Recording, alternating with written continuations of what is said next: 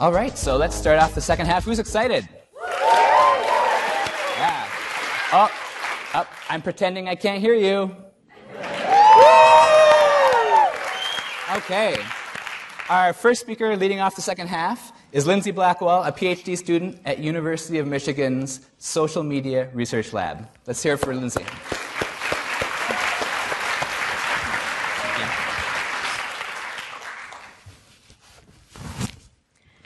We all know an internet troll when we see one. Trolls, those treacherous bottom feeders, the sociopaths and miscreants who haunt the darkest corners of our web. But what is a troll, really?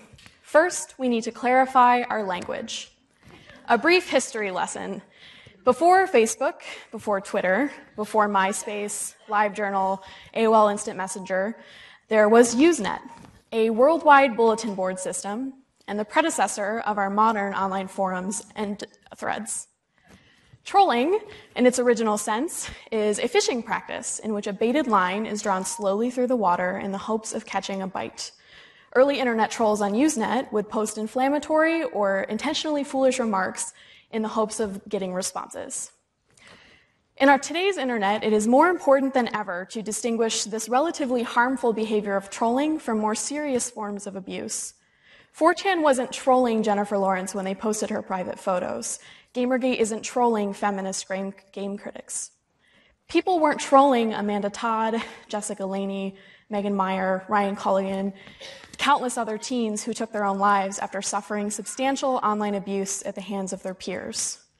These are intentional acts designed to intimidate or shame their victims into silence. Online abuse has serious offline consequences for its victims, and referring to these behaviors as trolling only undermines the types of harm that they cause. It's important to remember that these behaviors are not happening because of the internet. Each and every day, we use technology to collaborate, to empathize, to find jobs, to fall in love. The internet can be an awesome place. Humans just aren't always awesome people. We lie, cheat, steal, we wage wars, we break hearts. Humans have been awful to each other since the very beginning all technology does is amplify both our best and worst behaviors. And this is why we must stop characterizing online abusers as the shadowy villains who dwell in the seedy underbelly of our web.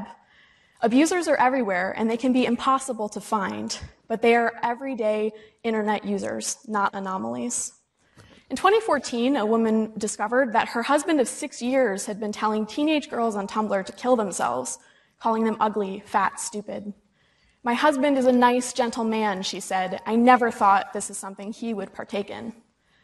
Earlier this year, feminist writer Lindy West famously confronted her cruelest troll, a man who created a Twitter account pretending to be her dead father. He used a stolen photograph and sent Lindy tweets telling her how disappointed he was in her. But the troll reached out. It finally hit me, he said. There's a living, breathing person who's reading this shit. I'm done being a troll, and I wish you the best. Said Lindy, it was frightening to realize how normal he was. But this is the exception, not the rule. Most online abusers never take responsibility for their actions, leaving technology users to fend for themselves. But online harassment is not a technology problem. It's a human problem, and it's a problem that we must work together to solve.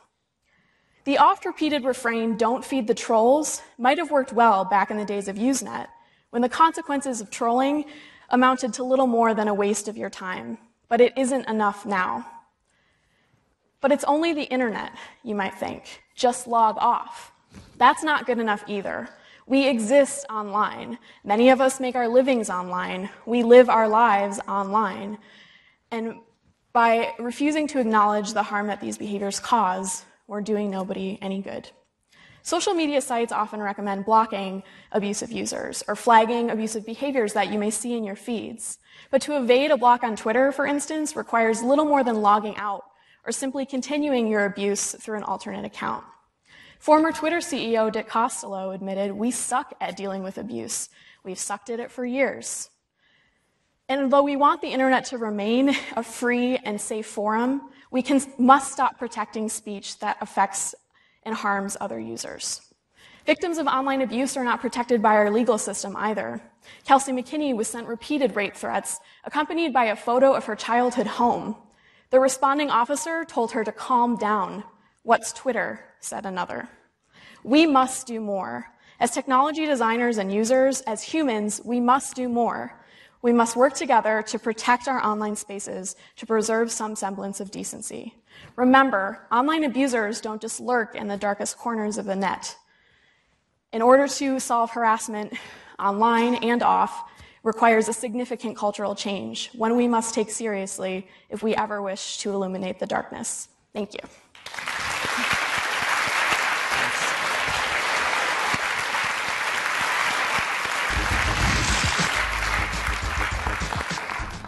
Thank you, Lindsay.